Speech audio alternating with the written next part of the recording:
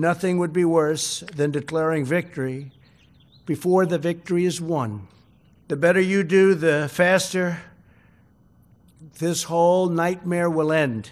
Therefore, we will be extending our guidelines to April 30th to slow the spread. On Tuesday, we will be finalizing these plans and providing a summary of our findings, supporting data, and strategy to the American people.